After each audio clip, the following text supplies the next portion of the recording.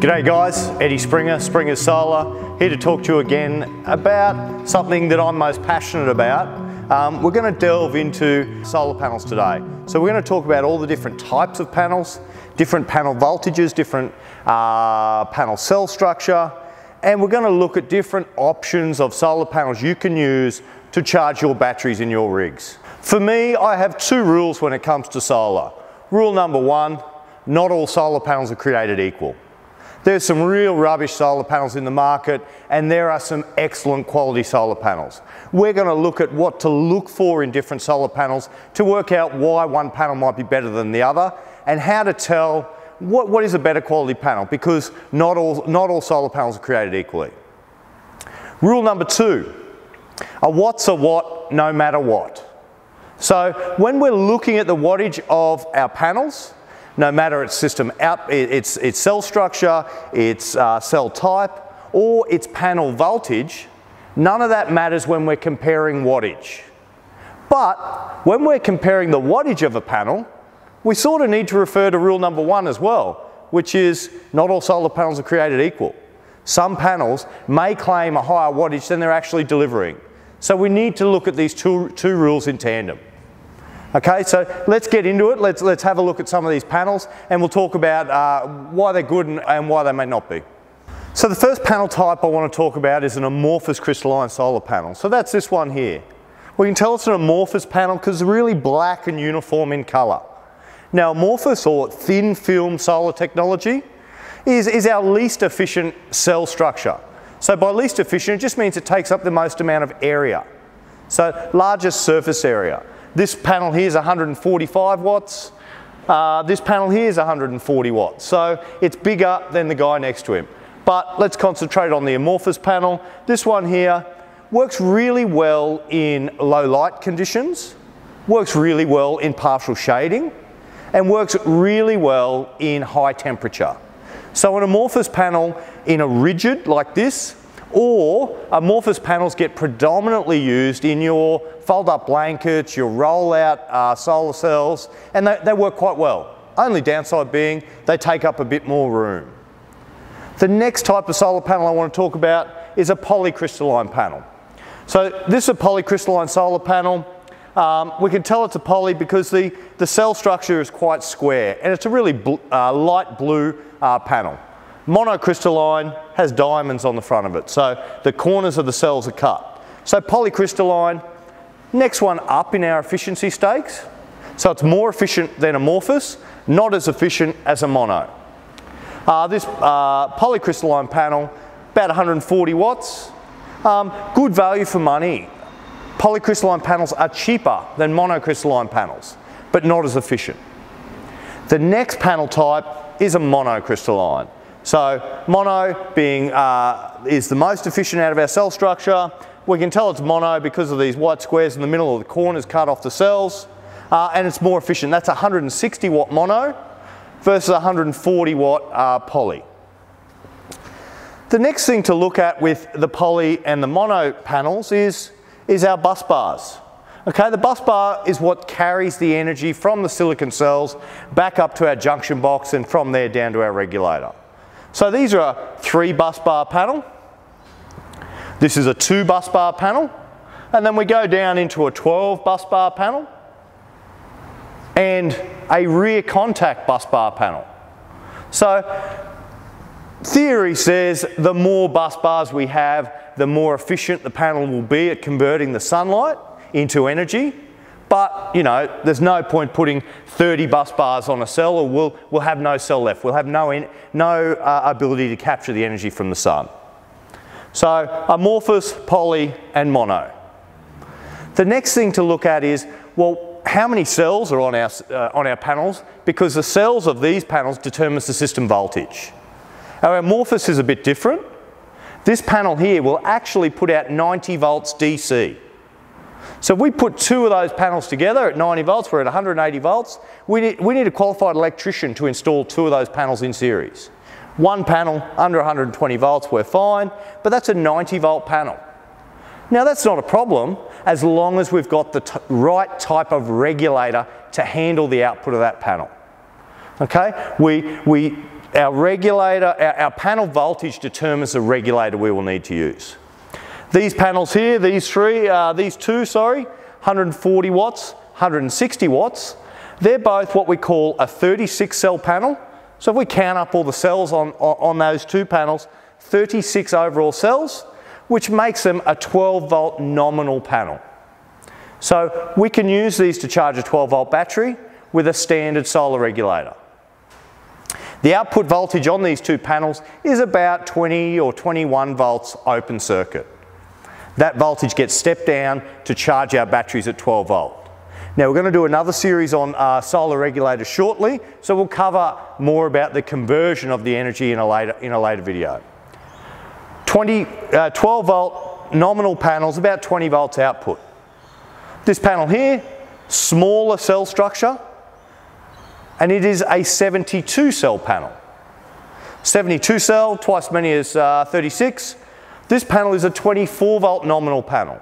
It's putting out about 42 to 44 volts open circuit. Okay, this panel can still be used to charge a 12 volt battery, but it can also be used to charge a 24 volt battery. Okay, we move from a 72 cell panel, smaller cell, up into our 60 cell panels. These are residential rooftop solar panels that we'd use on a house or on a commercial building. We can also use them on our caravans. We need to ensure they're installed in a way to uh, make sure they don't get too much movement, but these panels can be used for our RVs. This is a 60 cell panel or 20 volt nominal output. Just means the panel output is about 36 volts.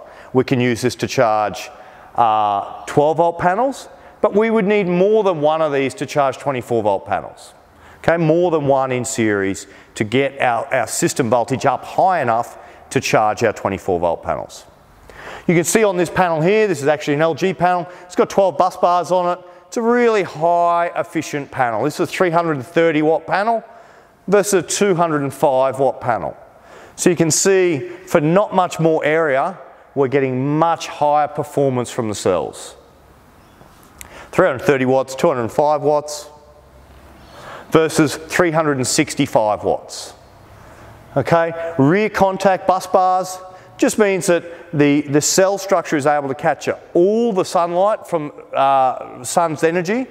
So the bus bar is tucked in behind the cell, makes it one of the most efficient panels on the market. You know, if we've got a really tight roof space, a really small area, then we want to use the most efficient panel. We want to use monocrystalline and high performing. If we've got plenty of room, and you know we're not using drawing much energy, we could get away with a with a less expensive panel, something that is a bit cheaper, um, because we don't need that much energy. Solar panels, when we first started in business 16 years ago, were selling for $10 a watt.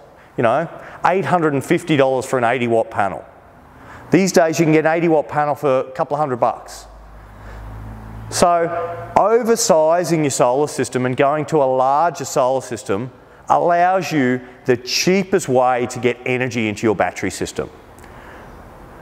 You want to ensure that you've got enough solar on the roof that in bad weather, in morning or afternoon shade, that you're capturing the sun's energy. Solar panels work best in full direct sunlight. Now, when we're installing these on a caravan rooftop or an RV rooftop or on your four-wheel drive, predominantly they're being installed flat to roof. Okay, so we're never going to see the full 140 watts out of this panel. You know, 140 watt panel when tested in a laboratory at standard test conditions, 25 degrees Celsius, 1000 watts per square metre of light, is not going to produce 140 watts in real world conditions we allow for about 85% of that 140 watts to be delivered to your battery when it's pointing and facing directly at the sun. If that's installed flat on the roof, we're going to get less than that. We might get 75%, 70% out of that panel. So you need to ensure that we're sizing our panels to suit our load, to suit what we've designed our system for, We've done our calculations for how much energy we're going to draw out of our batteries. We've determined the battery size we need. This is what we're going to use to charge it. This is what we're going to use to charge our batteries when we're stationary. So working out the amount of panels we need to charge that battery, we need to take into account, you know, 140 watts might only give us 110 watts in real conditions. And in winter, we're going to get a lot less energy out of our panels than we do in summer. So are we designing this system for the worst day of the year or are we designing it for the best day of the year? You know, I generally size my solar setups if, uh, if you're travelling permanently on the road and you're going to be travelling every day, we size our solar panel setup for the worst day of the year in winter. You know, three peak sun hours, three and a half peak sun hours. Our 140 watt panel three and a half peak sun hours, you know, we're only getting 500 watt hours out of that panel per day. We start going to a bigger panel, we start getting a lot more energy out of our system. So the next thing to consider with solar panels is, do we install them flat on the roof? And, and we've got the roof space to allow for that, extra, for that less energy that we're going to get than being flat? Or do we start looking at sizing our system around a portable setup? Do we design our system based on using a portable setup panel where we can get it out in the sun every day. We get it in full direct sunlight for the whole day. And we might even be able to track the sun from east around to uh, north, around to west. So portable panels have their advantages in that we can get them out in the sun.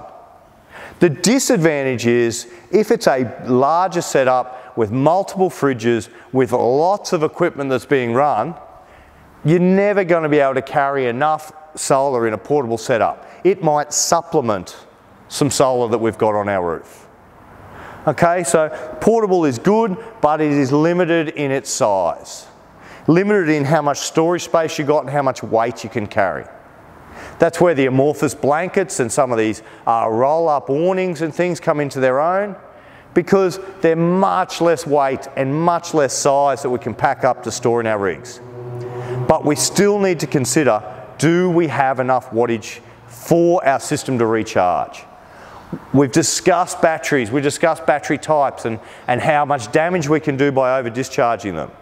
We need to ensure that the solar panels that we use charge these batteries to full each day and it's got spare capacity in the event of bad weather.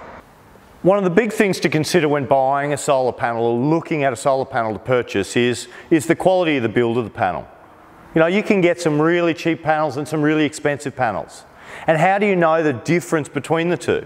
Well, the easiest thing to do is a visual inspection.